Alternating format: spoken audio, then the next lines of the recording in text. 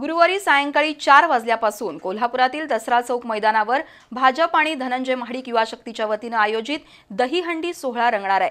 तब्बल तीन लाख रुपयांचं बक्षीस असलेल्या युवा शक्ती दहीहंडीची तयारी अंतिम टप्प्यात आली आहे.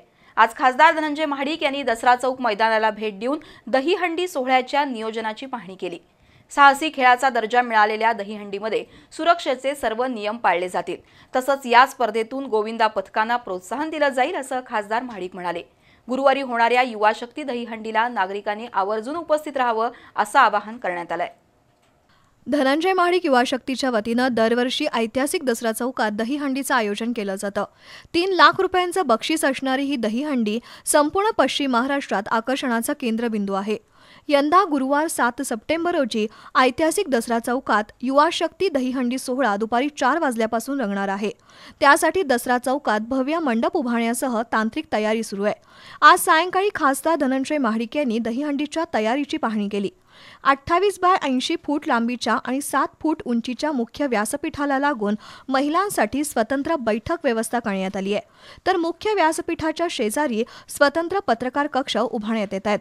दोन क्रेनद्वारे सुमारे पंचेचाळीस फुटावर दहीहंडी टांगली जाईल. तर मानवी मनोऱ्यावरील सर्वात वरच्या गोविंदाच्या सुरक्षेसाठी समिट ॲडव्हेंचर आणि हिल रायडर फाउंडेशनतर्फे सेफ्टी बेल्ट असणार आहेत. या सर्व तयारीची पाहणी खासदार धनंजय महाडिक यांनी करून समाधान व्यक्त केलंय. जास्तीत जास्त नागरिकांनी या दहीहंडी उत्सवाचा आनंद घ्यावा असं आवाहन खासदार महाडिक यांनी केलंय. तसंच दसरा चौक मैदानावर दाखल होणाऱ्या प्रत्येक गोविंदा संघाला महायुतीच्या वतीनं दहा हजार रुपयांचं प्रोत्साहनपर बक्षीस देण्यात येणार आहे. आपण बघू शकता तयारी अंतिम टप्प्यामध्ये आलेली आहे. खूप मोठे कार्यक्रम होतात.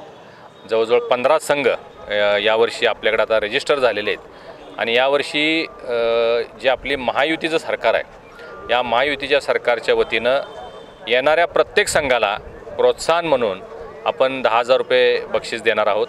त्याचबरोबर इतर जी बक्षीस आहेत पहिलं बक्षीस तीन लाख आहे उत्तेजनार्थ पंधरा पंधरा पंचवीस पंचवीस हजार आहेत पाच थर सहा थर सात तर करणाऱ्यांना बक्षीस आहेत. म्हणजे बक्षिसांची लयलूट असते.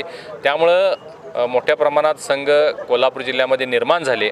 आणि त्या त्या संघानं इथं येऊन एक ग्लॅमर लाभतोय त्यामुळं मोठ्या प्रमाणात संघ उपस्थित राहतील. यावर्षी कृष्णराज माडिक यांनी रील्सची स्पर्धा एक घोषित केलेली आहे. त्यालासुद्धा अशीच बक्षीस आहेत.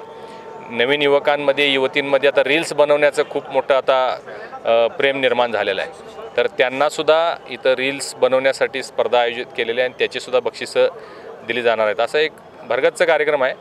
मोठ्या प्रमाणात सर्व महायुतीचे आमचे नेते मंडळी इथं उपस्थित राहणार आहेत. संघ मोठ्या प्रमाणात त्यांना प्रोत्साहन देण्यासाठी सगळ्यांनी इथं उपस्थित राहावं. युवा शक्ती दहीहंडी स्पर्धेसाठी पंधरा गोविंदा संघांची नोंदणी झाली आहे. गोविंदा संघांकडून या मानाच्या दहीहंडीसाठी मोठा प्रतिसाद मिळतोय. तर युथ आयकॉन कृष्णराज महाडिक यांनी दहीहंडीवर आधारित रील स्पर्धा जाहीर केली असून त्यासाठी स्वतंत्र बक्षिसं देण्यात येणार आहेत. संपूर्ण कार्यक्रम स्थळी चार स्वतंत्र टॉवरवरून प्रकाश योजना केली आहे. तर शहरात आठ ठिकाणी एलईडी स्क्रीनवरून युवा शक्ती दहीहंडीचं प्रक्षेपण केलं जाईल.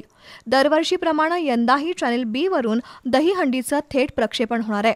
सलामीपासून भरघोस बक्षीस आणि मुख्य तीन लाखाचं बक्षीस असलेल्या युवा शक्ती दहीहंडीचे यंदाचे मानकरी कोण असणार याबद्दल प्रचंड उत्सुकता आहे.